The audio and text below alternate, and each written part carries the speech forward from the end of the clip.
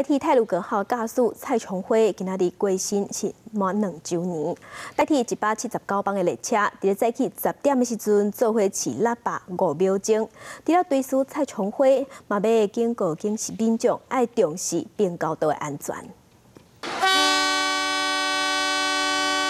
下早起十点进站，即正自强会列车是喇叭，规个台北车站柜台拢听会到，而且五标钟喇叭声，佮同时出现伫其他关区。全台一百七十九架列车，不管是进站到柜台，或者是行到半路啊，全部拢同齐起喇叭。这嘛是历史上第一届全台大串联，为的就是要纪念代替太多国机车长蔡宗辉，两当前今仔日伊牺牲家己救人客，不幸过身。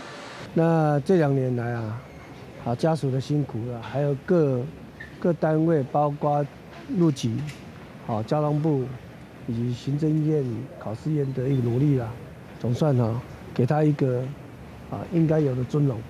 伫二千一二年正月十七日起，蔡总辉开太鲁阁经过通风报信的时阵，一架雪橇车想要通过铁轨路门，结果煞卡掉咧。蔡总辉赶紧打动啊，补掉专车三百外人客，家己煞不幸过身伫驾驶室内底。迄当阵家属煞是被当申请相关的抚恤金，经过两当外拍拼，总算伫昨十六号，专属部认定讲蔡总辉符合冒险犯难因公抚恤条件，而且铁轨路工会嘛表示，这算是较办来正义。过去啊，我们在法律上对冒险犯难定义太保守了。那这次可以从冒险患难里面重新定定义去诠释。